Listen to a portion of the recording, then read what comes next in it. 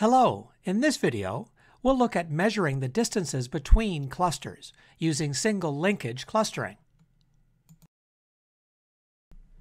So in the proximity matrix example, we talked about measuring the distances between clusters. This matrix is still used after joining clusters, but if we have a cluster consisting of multiple points, how do we measure the distances between these clusters? Which points do we use?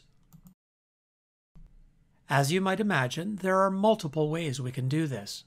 The first one is called single linkage clustering. Single linkage is defined as the shortest distance between two points in each cluster. Let's quickly analyze this equation. We have a point A which exists in cluster A. We also have point B which exists in cluster B. So the single linkage would be the minimum distance between the two clusters which will, of course, be points A and B. Next up is complete linkage clustering. Once again, we have point A and point B. This time we're finding the longest distance between two points in each cluster. In other words, we're noting the maximum distance between those two points. The third type of linkage is average linkage clustering, or the mean distance.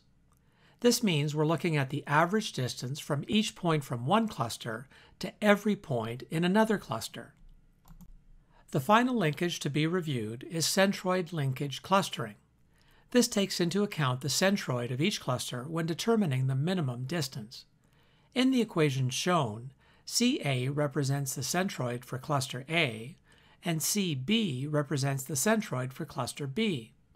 We then take the magnitude of the distance between the two centroids. Thanks for watching.